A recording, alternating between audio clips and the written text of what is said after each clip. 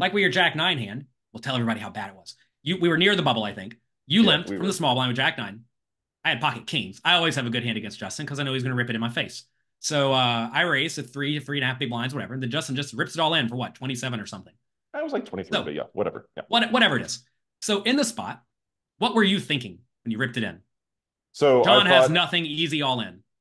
Yeah, I, I I thought that you had plenty of raising hands uh, that you would have to fold to a rip to. Like I thought you were full of shit probably like a third of the time, uh, in all honesty. So I thought it was gonna be like a snap fold, and the rest of the time, you know, the other like not two thirds, but probably closer to like you know forty percent of the time that like you know you're gonna have a hand that puts you in a real tough spot since we're near the money. Not that you're like a penny pincher, like trying to like you know get sneak into the money, but like hands like ace ten or pocket fours or pocket sixes even like you're just gonna have to shrug and fold, which is Well, I will tell you, I would I would never raise those on the bubble. Ace 10, yes. Sixes, no. okay. We'll see. Because because I think you're gonna rip it in on me a lot. I'm gonna be super polarized here. Like I don't even know, like okay. nines and better, ace ten and better, king queen, and then total junkers. Queen, See, queen and like I, I read it the like other that. way because like I don't know what exactly what you think of me outside of I know you think I'm an, an idiot, not an idiot, but like you know actually uh, I'm pretty sure you think I'm an idiot, which is fine. but like I, I I did think uh you you wanted to kind of gain uh range advantage with a better hand a lot of the time uh and play a, a slightly bigger pot against somebody on the bubble. So like maybe I clearly I was wrong with that read. Like, Plus, I'll tell you, on the bubble- Justin loves to call, so I, I thought I would think you would want to you would want to be more linear so that he could he would peel a flop a lot. yeah, like I mean yeah, but not with like pocket sixes or pocket fours. You know, like Yeah. you're not Yeah. you're not crushing it with pocket sixes. But then or Jack nine I mean, ace, okay ace ten, yes. against uh against Ace King and Ace Queen. You know, it just you happen to have kings.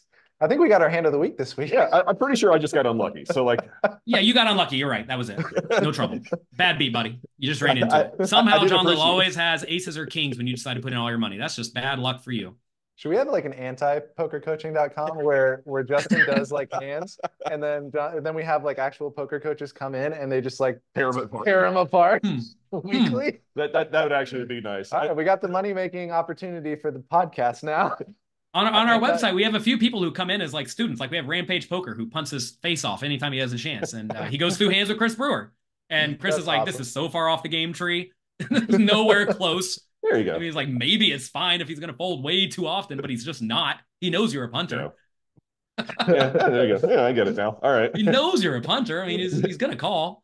I Obviously, can't, I can't I can't remember who was at the table, but as I was sulking, probably mumbling or whatever, I think someone else at the table was like, "Well, it came Jack High. Like he probably would have gone bust anyway." And I was like, "That's Yeah, not fucking right. that's, that's just condescending." well, to be fair, you probably would have gone broke anyway. You get a jack. Yeah. At top pair. Can't be going around folding top pair. I will bluff. Oh my god, Yeah. I tripled it off on the on the one of the bubbles against Byron Kaverman. And I don't know. That was that was Robert 07 style. Just as, you know, Yeah. flop a gut shot, check raise flop, bet turn, jam river, no problem. Out. Uh, but I got a I could tell you after the call, but I got a nasty uh, read on Byron, so I I, I could Hmm. tell you his tell for the future. Sorry, Byron, but Jay Little's gonna start owning. I'll soon. take it. Byron just always has it against me. Kind of like I have it against Robert. Byron has it against me. Sorry, Justin Robert. We all call Justin Yeah, Robert. yeah. Sorry for for anyone that's confused. My online poker name when uh, John and I met was Robert07, and since then there's I think about half a dozen people in the poker community that don't know my real name is Justin. They they call me Robert, and though I'm pretty sure John knows my name is Justin, he will never refer to me as anything other than Robert or Robert07. Dr. Robert 07. Doctor Robert07. That's right. Yeah. I'm only a doctor and donking. Doc, Dr. Donkey, next screen name. But but so anyway, in spots like that, if I was in your shoes, I would have limped. I would have gotten raised. I would have thought, okay, what's this raising range look like? Fine. Is it going to be decent? Do you think I am anywhere near decent?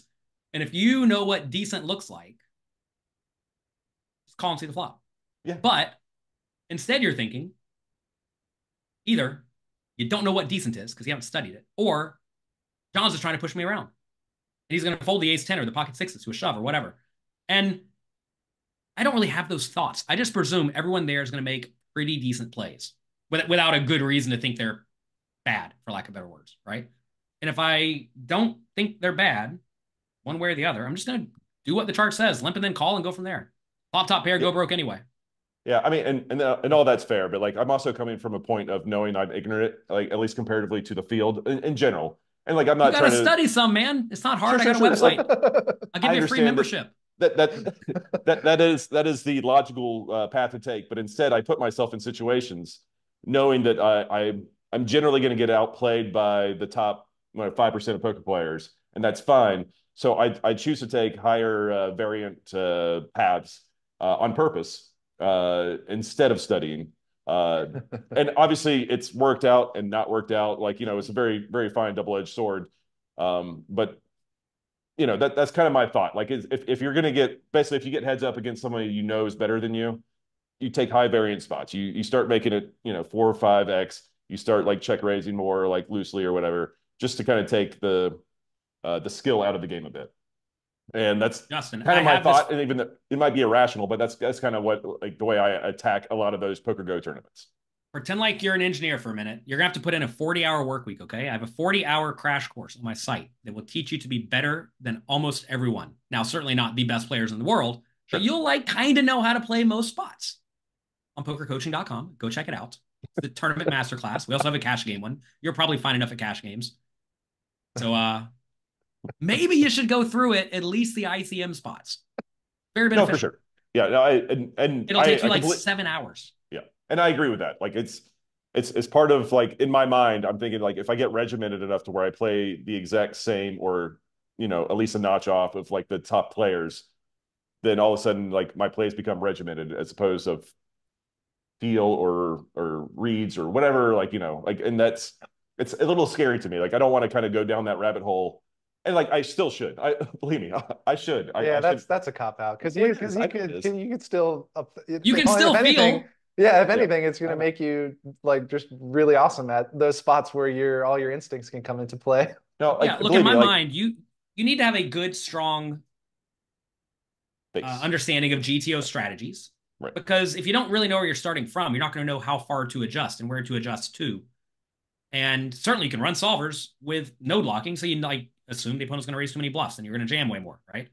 So stuff like that. So the question is, how much more should you jam? Is Jack nine a shove or is it a call? Still, even if I'm raising too many bluffs, I don't know.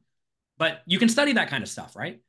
And Can you? I mean, don't like, know. if I've you never- listen to what I I've said, I- to solve if you listen to what I said, even like Chidwick's doing, who I think is like trying to be a GTO robot, he will think of what the GTO chart says and then he'll adjust it to whatever he thinks the opponent's doing wrong. And quite often the answer is he doesn't know or nothing.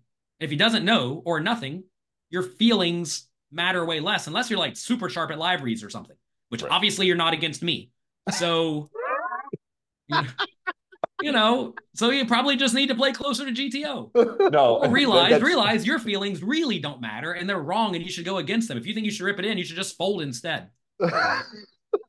John, you're 100 percent right. By the way, I, I'm not. I'm not defending my stance out of any kind of uh, place of knowledge. Buddy, he's a, I'm he's just a trying to help this my is what he friend does. He's trying, he's trying to bring you up.